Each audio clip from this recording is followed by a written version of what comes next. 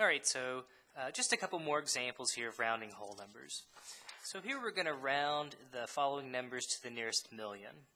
So in part A here we've got 42,413,699. I'm going to find the millions place. So ones, tens, hundreds, thousands, ten thousands, hundred thousands. The 2 is occupying the millions place. And again, according to our little recipe that we have, it says we look one number to the right. Well, in this case, the number to the right is 4. And if it's 4 or smaller, we do not change our number that we're going to round to. So I'm going to leave the 2 alone. Everything prior to that also gets left alone, so the, the 4 will also be left alone. And again, uh, we look at the digit that we're rounding to. Once we've decided, uh, you know, whether to round, uh, kind of either to increase it or not, we again take every digit to the right and just turn those into zeros. So everything to the right will have 0, 0, 0, and then another 0, 0, 0.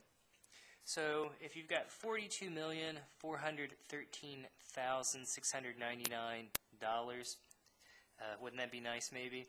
It says you've really got closer to $42 million, say, than, uh, you know, it's closer to 42 million than 43 million. So we, we're going to round down.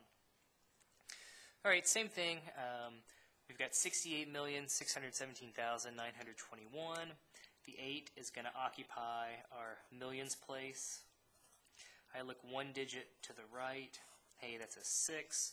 Since it's uh, that number is 5 or larger, we increase our uh, digit that we're going to round to by 1. So my 8 is going to turn into a 9. Again, we leave the prior digit alone. And then again, same thing as before. We just simply turn every digit to the right every digit to the right into zeros.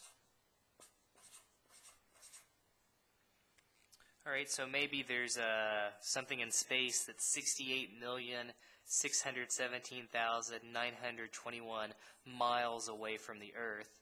You can say, well, that's pretty close to being 69 million miles away from the Earth.